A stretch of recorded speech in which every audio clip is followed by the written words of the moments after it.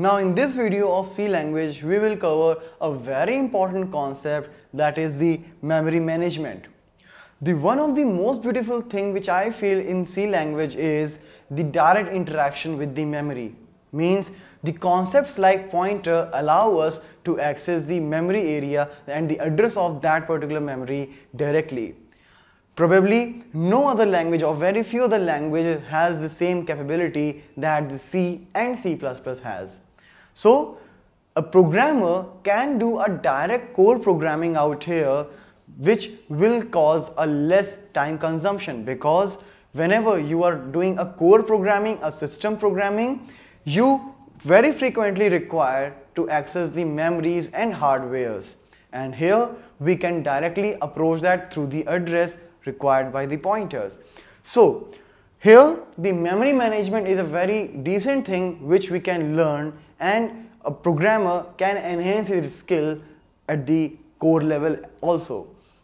So let's see what all is here. Like whenever you execute a program written in C, it follows these four kind of different uh, memory segments.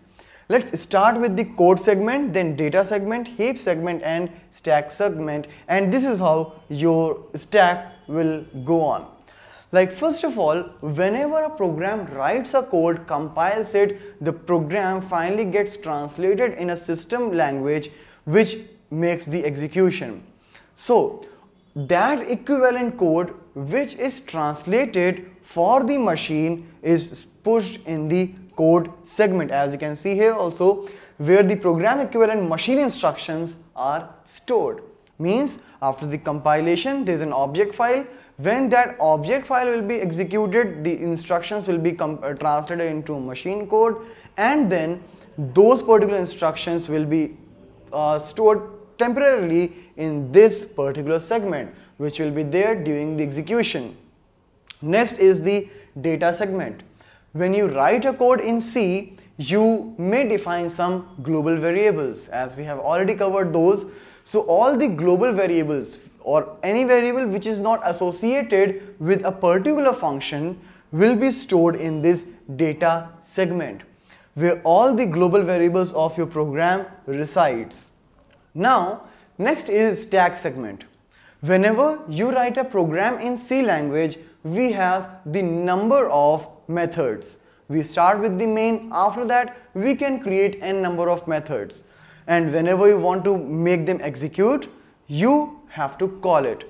So for that particular situation whenever you call a method all the methods will be loaded in a stack segment. Along with the methods all the local variables which are defined in the method will also be allocated in the same segment. So stack is something which will uh, load all the methods inside it and as the name says it's a stack segment. Like first of all it will be your main method. Suppose main method is calling m1 method. Then in the stack m1 will be on the top of main. Suppose m1 is calling some another method called m2 then it will be again on the top since it is last in first out LIFO concept so last in means m2 will be popped out then m1 will be popped out and at the last main will be out of it. And as soon as main is out of it the program will be terminated.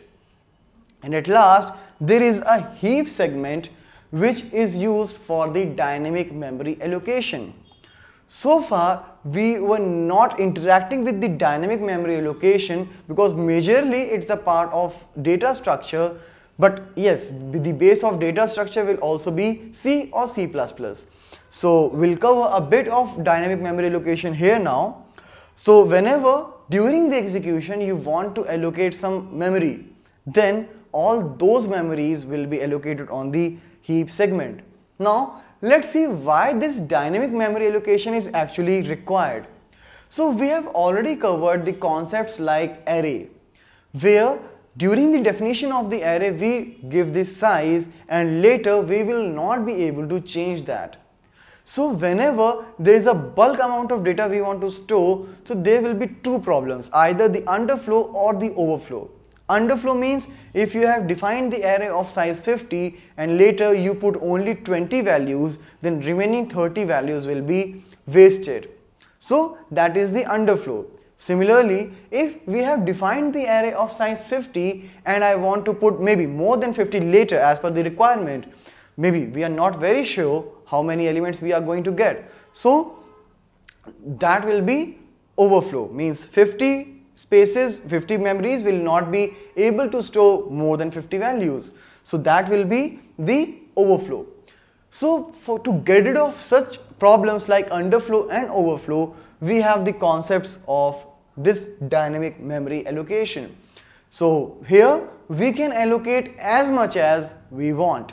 So let's see what all methods we have for the dynamic memory allocation and deallocation because when the memory is stored by at compilation time in the stack so as soon as your program will be terminated your stack will be unloaded and the memory of variables will be released. But since here we allocate the memory dynamically not particularly in the stack area so it is a programmer's responsibility to deallocate the memory as well uh, by the time you are done with it so here for allocating the memory we have the method called calloc. Alright, calloc and malloc are the two methods here majorly for allocating a memory space. But what is the difference? Like calloc will take two arguments how many blocks you want and what should be the size of each block, each memory block. So you will have to tell that in the calloc and calloc also initialize all those memory blocks with a 0 means it also puts a value. Where in malloc you just need to tell how many bytes you want to allocate. You don't have to give anything else. That num is the number of bytes. And it will not initialize those memories with any particular value. It will be containing a garbage. Once you have allocated the memory either through malloc or calloc next is you can use the free method by passing the particular address. As soon as you will do that that particular memory will be released and that can be used for some other works internally. Once you have allocated the memory suppose uh, 30 bytes and later you are required 40 bytes. So you can use realloc method for the extension for a new size. Maybe you want to less memory or more memory. So you can reallocate that using realloc method. So there are few programs as well like using malloc as here you can see I have just passed a single parameter 15 into size of character. So if it is 1, 15 into 1 is 15 bytes will be allocated for this. And here in calloc 15 means I want 15 blocks and what should be size of each block? The size of a character. Alright, so ultimately I am allocating the same memory but the way to allocate is different. So let's say practically how can we do a dynamic memory allocation here. So here you can see for dynamic memory allocation I have used the malloc function here with the single parameter which will tell the size which I want to allocate during the execution. As I want to allocate the space for 15 characters so I have what I have said is 15 into size of characters. Whatever the size of character is that is 1 byte into 15 that is 15 bytes will be allocated. Later I have typecasted it to the char pointer because the return type of malloc is void pointer. So if you will keep it as a void only you will not be able to do any arithmetic operation with the pointers. So that's why I have just made the typecast and I have typecasted that to the uh, character pointer and then I assigned the address to the ARR since I have just now assigned the address so obviously it will not be null but still in any particular case if there is any L uh, null also then I will just check that. If ARR is equal to null I'm, I printed allocation fails and exit failure. The macro which I have used to terminate the program which will send minus 1 to the system. Now if it is not null then obviously it will not get exited. And uh, here I have called strcpy from string.h string copy and I have assigned the value to correspond to that particular location and later I just printed that. And as soon as the retrieval is done if everything is done later at last I can free that space using free function. So when I'll execute this you can see string is tutorials point the value which I have assigned. Apart from malloc I can also use calloc which will just give one change like the number of parameters as here. You can see here in calloc I have passed two parameters 15 the number of spaces and the size for each block. So 15 blocks would be there and each uh, block would be of one byte that is the size of character.